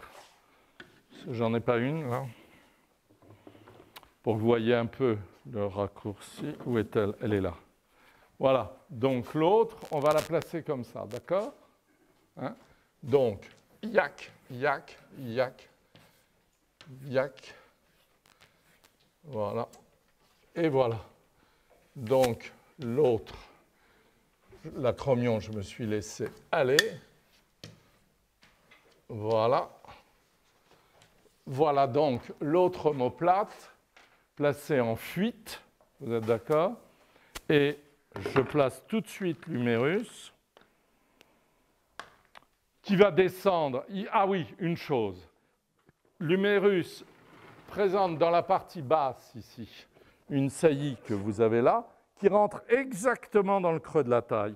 D'ailleurs, quand vous êtes debout, on reparlera si vous voulez du cubitus valgus, n'est-ce pas? Vous pouvez vous mettre en position idiote comme ça, comme dans les livres d'anatomie, ça n'a aucun intérêt.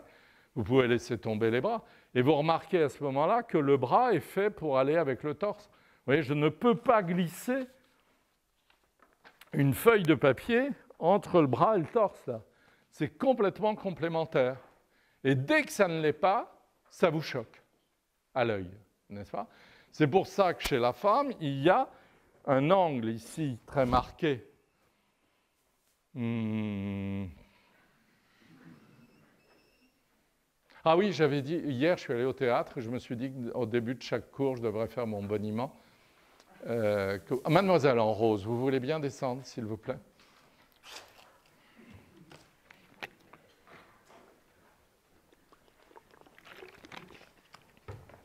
Voilà, faites voir, donnez-moi ça.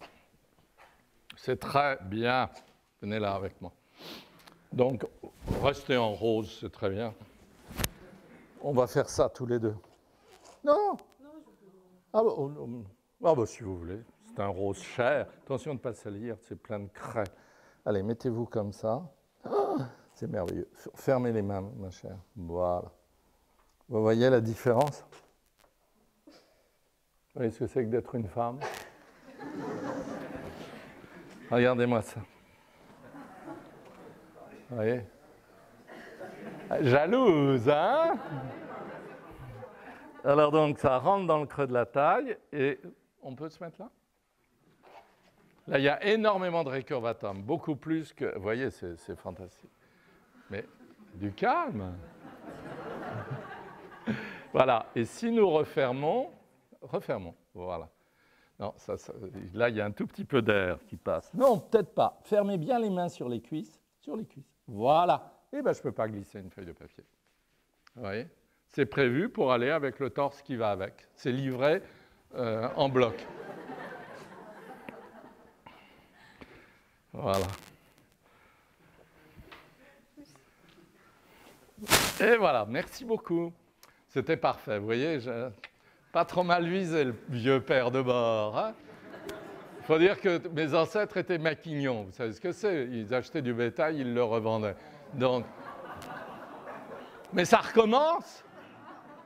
Vous allez peut-être faire à nouveau une différence raciste entre l'animal et l'humain. Non, mais d'où vous sortez? Mais c'est odieux. D'ailleurs, c'est à cause de ça que ce soir, je n'ai des chevaux et des juments. Mais qu'est-ce que c'est que cette histoire? On n'a pas le droit de dire. Mais, euh, qu'est-ce que c'est que cette inculture notoire? Prenez une libellule, c'est magnifique. Qu'est-ce que l'être humain a de plus intéressant? Non, mais enfin, vous avez un œil d'artiste ou un, espèce de truc politiquement correct fin XXe siècle à, la noix? Ah, Il faut un peu ouvrir le regard. Sinon, vous serez quoi? Vous serez, vous, serez, vous serez ce que vous serez. Eh bien moi, j'aime autant regarder un chat, une vache, qu'une femme. Hein. Et voilà. Bon, ce n'est pas simplement une question d'usage, n'est-ce pas? C'est comme les hommes qui se font l'idée qu'une femme, ça a deux seins et, et un pubis. Non mais franchement. Bon, je me calme. Donc, ah, alors que pour moi, le plus beau compliment, c'est vraiment la référence animale.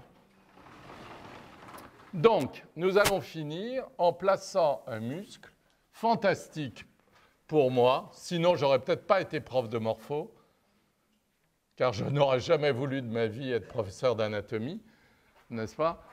C'est un muscle qui, justement, ce soir on en a vraiment besoin, attache les omoplates au rachis.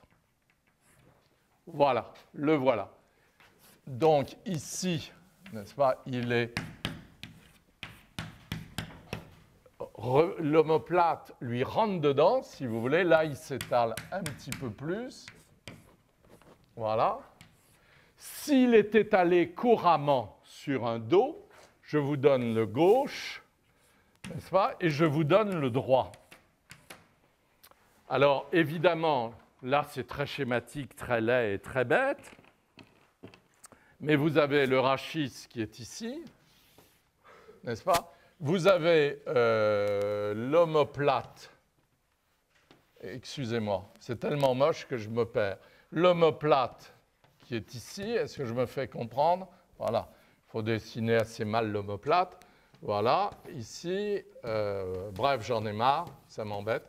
Voilà. Et donc, vous avez un muscle, vous voyez, qui a cette forme. Là, à plat. Quand on est tout bêtement à plat de dos. Si je sors encore plus géométriquement la forme, elle est celle-ci. On est d'accord? Bon, eh bien en grec et en français, ça s'appelle un rhombe. Rhombos en grec, rhombe en français. Eh bien ce muscle s'appelle tout bêtement le rhomboïde. Et les deux réunis forment les rhomboïdes. Et ils ont cette vertu, n'est-ce pas,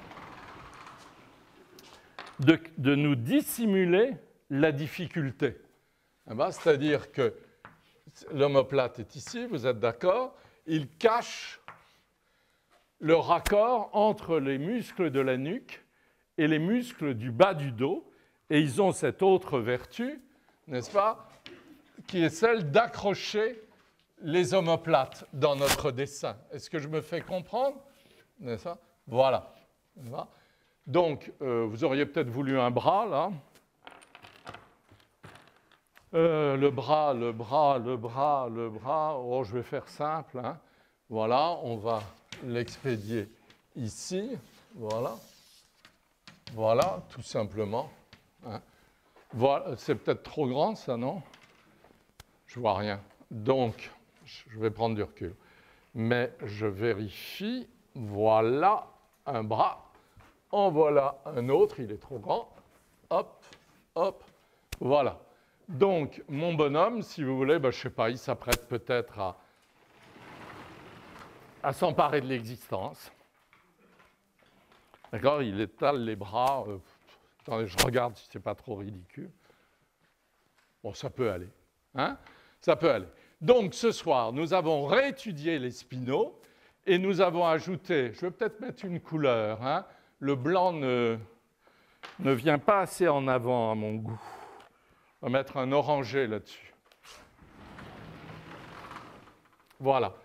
Donc, nous avons placé les deux rhombes qu'en anatomie, on appelle rhomboïdes. D'accord?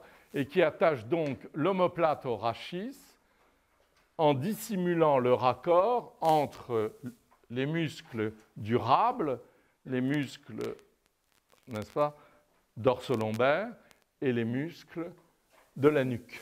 Voilà. Donc, quand nous dessinerons à l'avenir un dos, à partir de mardi prochain, je commencerai par mettre le rhomboïde et ensuite je mettrai ce qu'il y a en dessous et en dessus pardon, en dessous et au-dessus, pour la bonne raison que la réalité, c'est comme ça. On voit d'abord le rhomboïde et ensuite les spinaux et les muscles de la nuque. D'accord? Qui sont en dessous. Question. Valérie. Est-ce qu'on aperçoit justement l'angulaire de l'homoplate Ah, ben si vous voulez, je peux vous en mettre 10, 15 en plus. Euh, vous étiez là mardi ou pas? Surtout pas. Surtout pas. Alors là, mais comment s'appelait-il? Il avait un nom magnifique. Je suis très très gêné. Faut absolument que je retrouve son nom et son prénom. C'était sublime. Par exemple, l'angulaire de l'homoplate, euh, dans la vie courante, on devrait savoir où il est, pas? C'est tellement. Euh, Tiens, tu veux bien venir, Jean-Max? On n'a pas besoin d'être diplômé en kinésithérapie. Hein. Si quelqu'un dans votre entourage a mal dans, la, dans, la, nuque, euh, faites ça doucement, prenez pas de risque. Il y a un nerf qui passe, mais ce n'est pas dangereux. Vous voyez, je me suis un peu les doigts pour que tu sois rassuré. Vous prenez l'angulaire de l'omoplate, il est là, hein, il est là, là je le sens. Hein. il part de l'angle supérieur de l'omoplate, il se retourne vers les apophyses transverses des quatre vertèbres cervicales, les quatre premières. Donc vous prenez tout simplement le dos de votre ami et... Mais pourquoi riez-vous? Et hélicoïdalement, vous remontez, surtout pas comme des ânes. Comme ça, ça ne sert à rien, vous faites mal, n'est-ce pas Parce que le nerf passe. Mais vous remontez délicatement, vous voyez, comme ça, doucement, doucement, doucement, et tu ressens déjà, même sans torticolis, il ressent un bien-être, n'est-ce pas? Parce que on- je suis dans la direction de son angulaire. Si je fais ça, il va me dire non, mais ça va pas, arrête, vous voyez Tandis que si je prends bien l'angulaire, d'ailleurs, il n'était pas tellement contracturé, si je prends bien l'angulaire. Alors, la seule chose qui, surtout, avec laquelle il faut être extrêmement prudent, parce que là, vous pouvez faire une bêtise, c'est de ne pas envelopper le cou après avec une écharpe. Parce que si vous avez chauffé le muscle au point de le décontracturer, ça va De retirer la contracture, si la personne s'en va dans le froid avec un muscle chauffé, elle pique, alors là, le double de la douleur qu'elle avait auparavant. D'accord? Donc ça ne sert à rien. Vous voyez, c'est très simple, c'est hélicoïdal, n'est-ce pas? Donc vous faites un geste hélicoïdal. S'il y a une douleur du rhomboïde, j'en ai déjà vu, alors là, c'est tout bête, vous montez obliquement dans le sens des fibres du rhomboïde. Vous voyez ce que je veux dire? À chaque... Merci beaucoup, mon ami. À chaque... C'est pour ça que cet homme était extraordinaire, n'est-ce pas? C'est qu'il ne prenait pas le dos comme une espèce de truc qui montait tout droit. Il allait chercher le muscle qui avait mal et il mettait le temps qu'il fallait. Et une fois qu'il l'avait sur le personnage en question, car mon rhomboïde n'est pas le sien ni le vôtre, eh, ben, eh bien, euh, je parle du rhomboïde, ça c'est facile, mais mettons un, muscle profond, une fois qu'il l'avait dans la nuque, il allait le travailler en surface ou alors aux ultrasons, etc., etc., pour retirer temporairement la douleur, parce que ça ne se... re- Hélas, ça revient pour un oui, pour un non, mais ce- ceux qui sont dans la salle et qui ont subi et subissent ce genre de choses le savent beaucoup mieux que moi. Une douleur musculaire, euh, ça vient d'un geste, on ne sait parfois pas lequel, n'est-ce pas, que l'on fait euh, stupidement en descendant son escalier. Et on ne peut pas changer d'appartement sous prétexte que... Alors il faut faire attention, il faut voir ce qui, ce qui entraîne la douleur. Voilà. Oui, j'aurais pu mettre les angulaires de l'omoplate. Ils sont tout à fait superficiels dans la plus grande partie de leur parcours. Ils glissent en dessous ici. Donc ça nous ferait ça. Ici, où est l'autre angle? Ici. Donc ça nous ferait ça. C'est pas mal plastiquement. hein. Voilà. Ça donne une espèce de, comment dirais-je, d'expansion latérale. J'aurais aimé avoir une image un petit peu plus vulgaire et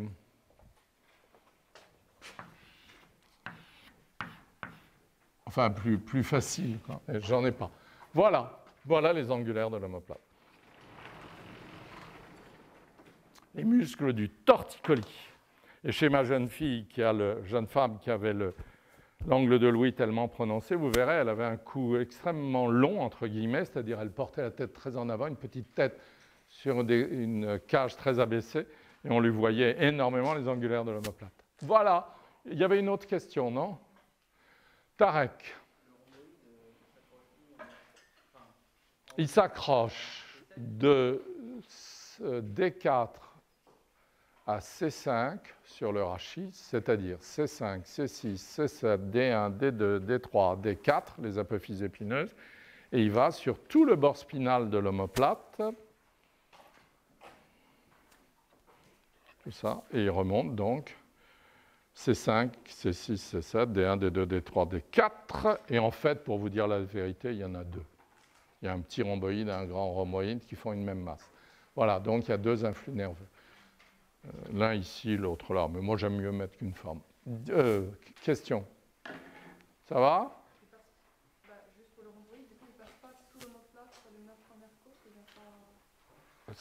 Là, vous, vous, vous, vous allez vite. C'est une très bonne idée, mais c'est pas juste. Mais, je suis très content que vous me demandiez d'en parler. Le rhomboïde, en fait, prenez ma main là, hein, coupez les doigts. On est d'accord Vous coupez les doigts. Donc, voilà le rhomboïde schématiquement. hein. Mais ce que je vous ai dit autrefois, c'est que ça se continue en dessous dans un autre muscle innervé différemment, qui forcément, puisqu'il va aller sur les côtes, va avoir neuf doigts vers les neuf premières côtes, et qui s'appelle le grand dentelé. Donc, c'est la même masse charnue qui se continue, mais attention, il y a des influx nerveux différents, donc ce sont deux muscles différents. L'autre est un écarteur de la cage thoracique, lui est un rapprocheur des épaules. Ça marche? Voilà, c'est bon cette fois? Allez, diapo.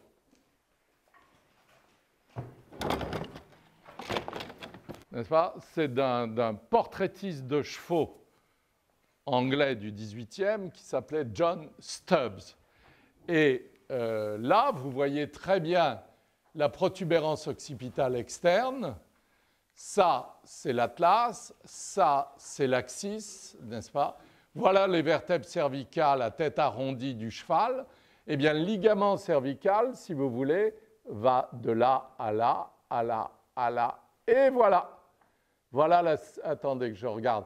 Voilà la septième cervicale qui est ici chez le cheval, la première dorsale, et ensuite, vous voyez, les dorsales montent jusqu'à la partie la plus haute du garrot et redescendent. On est d'accord?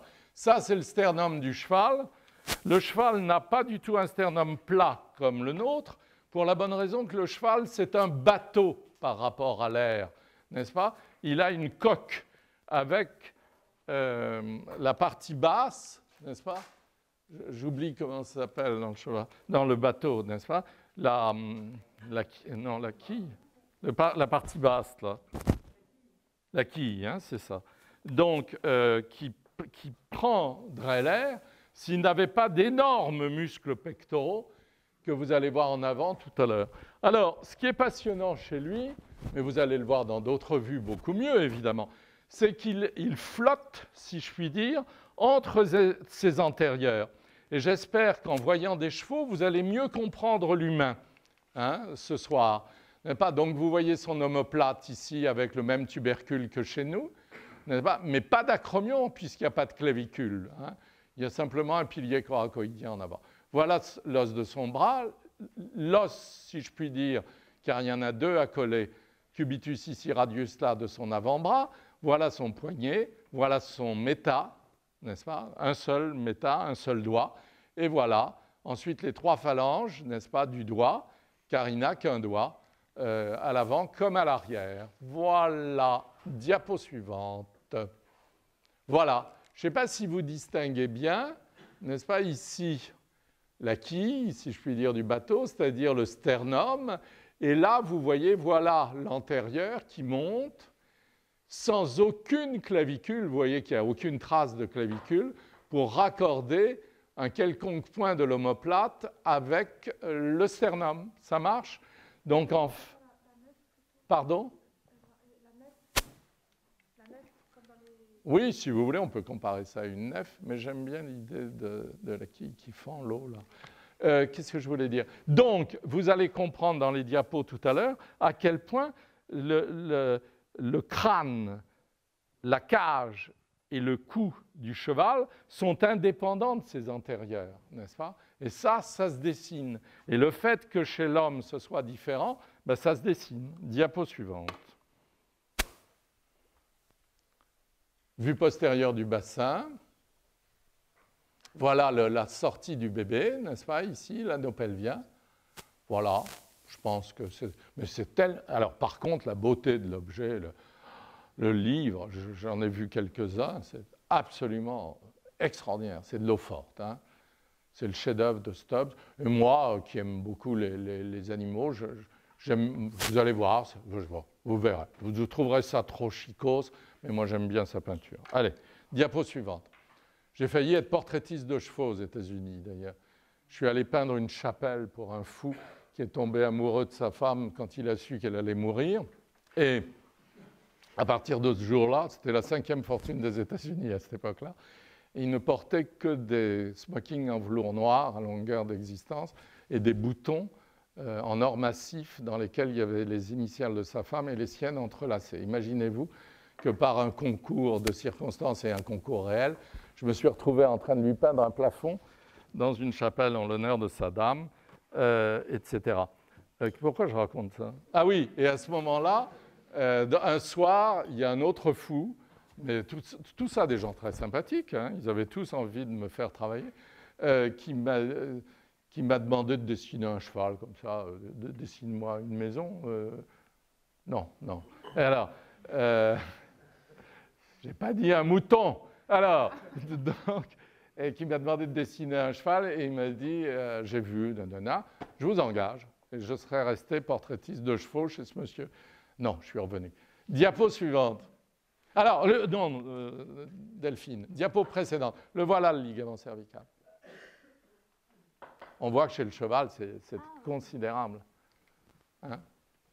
et sur une vache couchée, je ne sais pas où j'ai vu une extraordinaire photo de vache couchée. Euh, eh bien, euh, vous pouvez voir le long du Luxembourg une exposition d'un de mes amis gentils, en ce moment sur des photos faites en France, et il y a une vache couchée, et on voit son ligament tout le long du dos, comme ça. Diapo. Voilà. Alors, on va monter les couches rapidement. Diapo. Voilà. C'est très beau, non? Diapo. Diapo. Voilà, c'est presque habillé, je crois, ou tout à fait. Diapo, ça doit être la dernière. Voilà. Alors, diapo, vue de face, on l'habille peu à peu. Diapo. Diapo. Ça doit être la dernière. Non, c'est celle-ci. Superbe, hein? Avec des rotateurs du sabot, enfin, a des trucs extraordinaires chez le cheval. Diapo.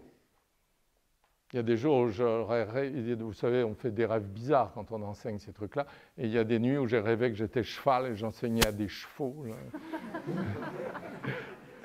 Parce qu'il y a des muscles que j'adore chez le cheval, qui n'existent pas chez l'homme sous la même forme. Diapo, voilà, voilà une peinture de Stubbs. Alors vous allez me dire, non, mais de bord, ben moi j'aime ça. Hein. Je trouve ça délicieux, ravissant. vous voyez, c'est complètement fou et disproportionné. C'est le début de la passion pour ces étranges bêtes que sont les purs sangs, n'est-ce pas? Diapo. Moi, j'aime mieux les chevaux de trait, mais ça, c'est un détail. J'ai toujours rêvé, je, n'ai jamais vécu autant que j'aurais voulu avec des chevaux, j'ai toujours rêvé d'un cheval, un cob, vous voyez, euh, assez stable. Quand j'étais petit garçon, on me mettait sur des chevaux de trait, c'est extraordinaire, les cuisses complètement à l'horizontale. Un cheval sur lequel je puisse dessiner. Diapo, ça j'aime moins, surtout la partie postérieure de la postérieure. Voilà, ça c'est très charmant. des petits garçons à cheval délicieux. Diapo. Il est adoré en Angleterre. Hein. Voilà, c'est, ça, je trouve ça délicieux. Allez, diapo, ce sont des images. Oui, oui, je sais, ce sont des images. Voilà, alors ça, ce sont des chevaux libres dans la Poutsa. N'est-ce pas? C'est dans ces pays de l'Est qui vont rentrer maintenant en Europe. Et c'est très intéressant de voir des chevaux libres qui, n'ont jamais été montés comme ça, qui vivent à l'état sauvage. ils ont une espèce de naturel absolument incroyable dans les attitudes. Et on sent très bien la puissance musculaire autour du... Le rhomboïde, justement, tenez là, autour du garrot, n'est-ce pas Et l'indépendance de l'antérieur. Et puis cette caractéristique très particulière du quadriceps chez le cheval autour de la rotule, là vous voyez, et de l'incurvé que fait la haute cuisse. Quoi. Diapo, mais je ne peux pas tout vous raconter. Voilà, regardez, extraordinaire. Diapo suivante. Ça, c'est un, petit, cheval très jeune, avec, vous voyez, comme la puberté chez l'homme, quoi, avec une ossature en avance sur la musculature. Exactement la courbe de Godin dont je parlais tout à l'heure. Fichez-leur la paix à ces enfants qui sont dans la jungle. Hein Fichez-leur la paix. Ou dites-leur, dites qu'on leur fiche la paix. Parce qu'ils ont déjà assez de problèmes. Diapo suivante. Très difficile de. Voyez, regardez les, les ailes iliaques, par exemple, là, c'est magnifique. Hein Diapo suivante. Ben voilà. Si vous trouvez ça moins beau qu'une femme, moi, je ne suis pas d'accord. Je mets pas, ce n'est pas une course de vélo, n'est-ce pas? Je ne mets pas des choses plus belles que d'autres. Euh, je crois qu'on peut avoir un coup de foudre pour une jument ou un cheval. Diapo suivante.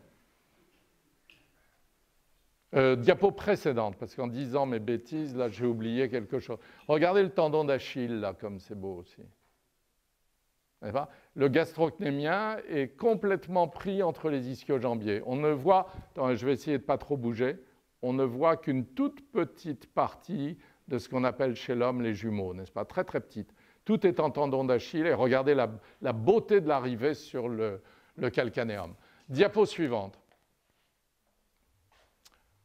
voilà, là vous sentez l'indépendance de l'omoplate, n'est-ce pas Mais vous allez bien mieux sentir dans mes diapos suivantes. Il ne faut pas que je sois en retard. Oh on va passer très vite. Allez, diapo, diapo, diapo. Voilà, alors, quand un cheval saute, concours complet, quand un cheval saute un obstacle, il replie euh, ses antérieurs et tout le monde dit Ah, ce que c'est beau, etc. Pas? Bon, donc, et on est rassuré de le voir aussi bien les replier devant un obstacle aussi dangereux. Diapo suivante. Voilà, alors là, moi j'adore parce que c'est comme les films de Visconti, si vous voulez. Ce sont les grands Italiens du début du XXe euh, siècle, je dis bien, qui avaient une façon de monter absolument insensée. Les rennes étaient lâches, n'est-ce pas? On avait l'impression qu'ils étaient en promenade, vous voyez, comme ça. Et ils te passent un obstacle fixe, hein, un obstacle fixe, n'oubliez pas, ce n'est pas du concours euh, hippique, avec une désinvolture incroyable. Diapo. Ça, c'est plus sérieux, un peu plus brutal, mais intéressant dans les courbes et les contre-courbes. Alors vous voyez, bon, tout ça, les gens ne s'étonnent pas, ils prennent le cheval pour quelqu'un d'intelligent. Diapo, là, vraiment magnifique. Regardez comme il regarde la façon dont le, coup de pied passe. Diapo. Et l'encolure était superbe. Bon, il descend, hein, il commence à étendre un tout petit peu les antérieurs, diapo suivante, un peu plus, diapo suivante, et voilà.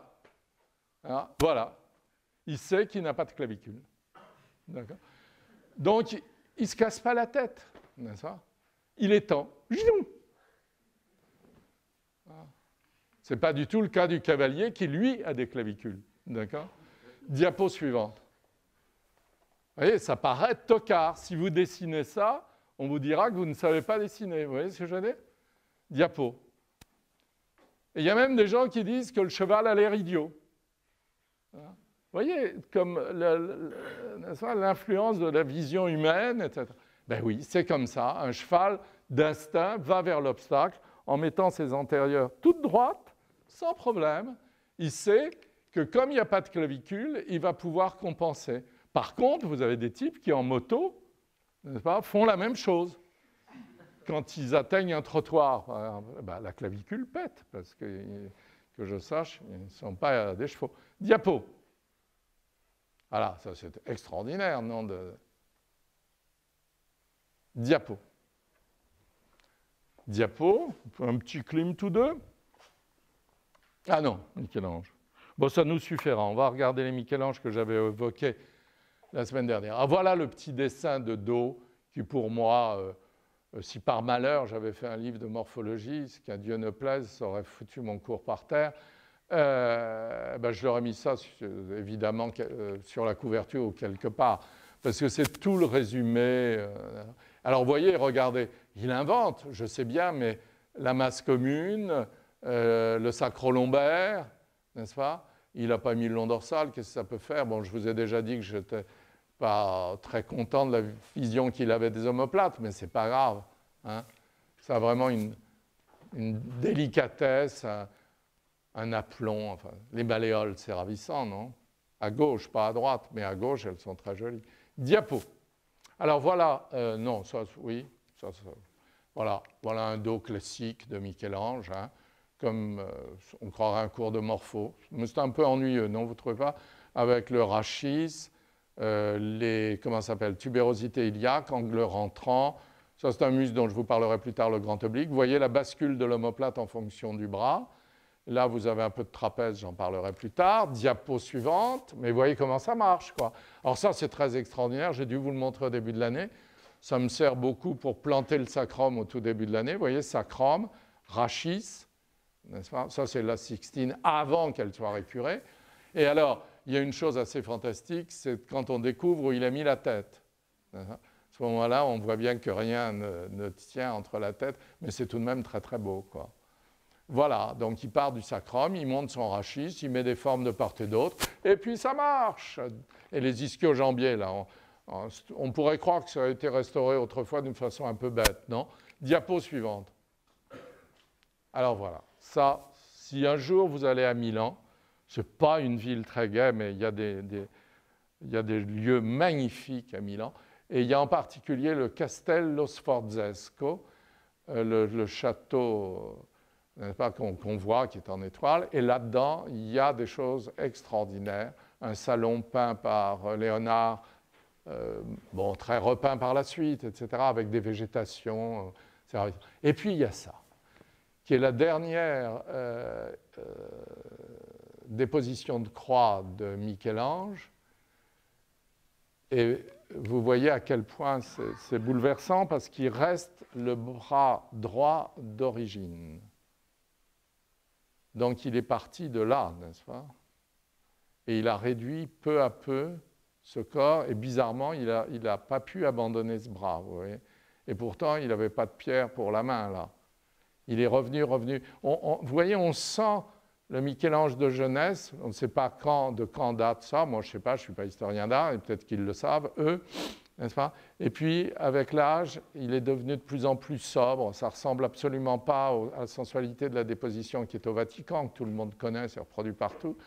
Et puis, regardez le tendu, là, par rapport à la crête la discrétion de tout ça. Ben voilà, c'est un objet ni...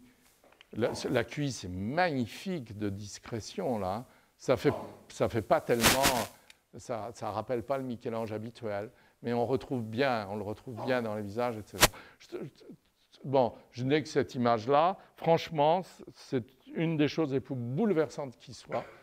Euh, voilà, c'est donc au Castello Sforzesco à Milan et il est 7 heures. Bonsoir.